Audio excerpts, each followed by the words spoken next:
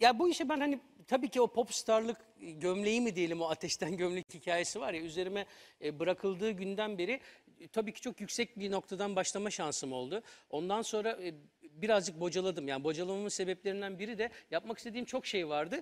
Oysa ki popstar olarak sen busun böyle devam etmek zorundasın. Se- o havalı zaman yürümek kurallar mı zorundasın. vardı? abi? Popstar bunu yapar, şunu yapar Aynen öyle. falan filan. Görüşmez, bakmaz, kız arkadaşı olamaz gibi belli temel kurallar vardı. Net kurallar yani. Böyle kız arkadaşın olacak, hayır ayrıl, olamaz falan. E, En tabii- sert kural neydi? şeyler vardı ama. Ama evet. şunu şöyle düşün yani e, e, tabii özel televizyonların ilk başladığı dönem olduğundan dolayı e, insanlar bir 90'ların başında müziğe açtık böyle hani kendi yaşıtlarına kendilerinden bir şu an sizin olduğunuz gibi birileriyle kaynaşmaya ihtiyaçları vardı. Ben o döneme denk geldiğim için bir şanstı benim için sanırım ve e, televizyon büyük etkiydi. Yani insanlar sabahtan akşama kadar e, oraya kilitleniyorlardı ve Başka bir ulaşma şansımız yoktu, çünkü. yoktu zaten. ve e, ben de en çok televizyona çıkan yani o anlamda rağbet gören insanlardan biriydim. Çok çılgın hikayeler yaşadım tabii ki. Çılgın derken abi. Çılgın derken hani e, hayranlarımla beraber yaşadım. Neler oldu abi? Anlat. Azıcık, azıcık anlat abi ya. Şimdi hiç öyle değil. Şimdi dümdüz yaşıyoruz. Yani Çay ilginç kahve- olan senin bu hikayelere ilgi duyman çok ilginç. Ben merak ediyorum. 90'lar bana çok büyülü, büyülü geliyor. Güzel yere parmak bassın abi. Bir böyle 90'lar ben konuyu değiştirebilmeye hakimiyetine sahibim moderatör olarak. Ee, 90'larda katıldığım bir programdan böyle bir kısa bir görüntümüz var. Aa, öyle mi? Valla bir orayı görelim. O zamanki imaj filan da. Allah. Bir Verin abi görüntüyü. Gelsin. İki lafın belini kıralım şurada. Çok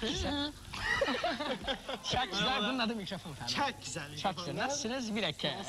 Selam. Nasılsınız? Sen daha şıksınız. Evet bu özel bir dil oluyor sanıyorum. Efendim? Özel bir dil var sizin aranızda. Nedir bu dil? Hiç kimsenin anlayamadığı ve sizin anladığınız bir dil varmış aranızda. Bu nasıl çözülecek? Ne yapacağız? Şunu bir anlatın. Yani neresi olduğunu kesin hatırlamıyorum bir davet ama yani bu Burak Kut Burak Kut değil ben Kenan'da olaydım yani. Ama arkadaşız dostuz o barlardan. Ee, girdim bir ceket vardı üstünde. Yanılmıyorsam sarı bir ceketti. Yakaları dışımdaydı ve çiçekli bir gömlek vardı. O da yeşil bir ceket giymiş, çiçekli bir gömlek giymiş. Yakaları dışarı çıkıyor. Altında siyah pantolon aynı botla gitmişiz oraya. Ve birbirimize baktık böyle kahrolduk arkamızdan. Ayrı köşelerde. Kardeş gibiydi. Olur ya böyle falan Allah kahretsin. bakan gözleri özledim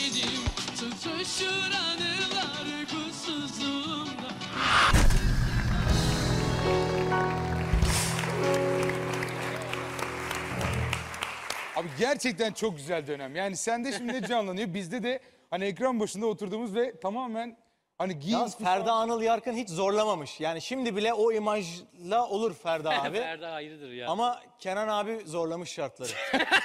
Güneşli kolye, at kuyruğu falan. At kuyruğundan Yarın iki vazgeçmek renk güzel pantolon, fikirmiş. bir bacak başka bir bacak. Evet, evet. Pantolonun bu bacağı beyaz, bu bacağı siyah. giyinebiliyor. İkizler Burcu o Evet. yüzden.